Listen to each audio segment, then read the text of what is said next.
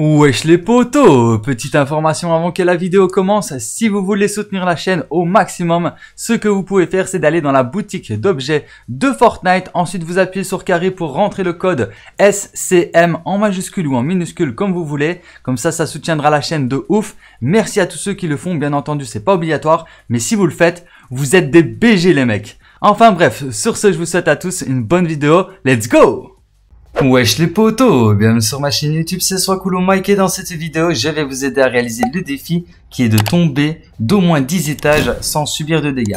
Alors ce défi me, me reste un peu perplexe parce qu'il y a plusieurs solutions pour réaliser ce défi et je ne sais pas lesquelles vont vraiment fonctionner. Donc je vais vous en présenter plusieurs, mais normalement toutes devraient fonctionner.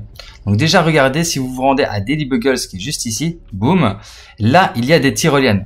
Donc vous prenez la tyrolienne la plus haute, par exemple on va prendre celle-là, hop, vous vous attachez sur la tyrolienne. Et là, ce que vous faites, c'est que vous sautez tout simplement par terre. Normalement, il y a bien 10 étages. On va calculer. Un étage, deux étages, trois étages, 4, 5, 6, 7, 8, 9, 10. Donc regardez, je vais aller jusque là. Regardez, c'est la tyrolienne la plus haute. Donc pour moi, c'est 10 étages. Le bâtiment là, Daily Bugle, c'est 10 étages. Donc hop, si vous vous mettez carrément ici et que vous sautez juste en bas, là vous avez sauté 10 étages. Donc dans la logique, ça, ça devrait marcher. Donc on va même calculer les étages. Donc un étage, deux étages, 3, 4, 5, 6, 7, 8, 9 et 10. Donc franchement, il y a bien 10 étages euh, si je ne m'abuse. Donc, euh, donc ça devrait fonctionner. Deuxième solution, c'est bien calculer euh, votre coût, mais vous calculez s'il y a bien 10 étages et ensuite vous envoyez une répulsive comme ceci, vous l'envoyez même par terre en dessous de vous. Donc là, je pense que vous prenez encore un, deux, trois étages en plus supplémentaires. Si vous si vous sautez vraiment comme ça, tout droit avec euh, votre répulseur, votre grenade répulsive. Donc logiquement, si vous êtes sur un bâtiment de 8 étages, vous envoyez une répulsive, puis ensuite vous tombez en bas du bâtiment, ça devrait fonctionner.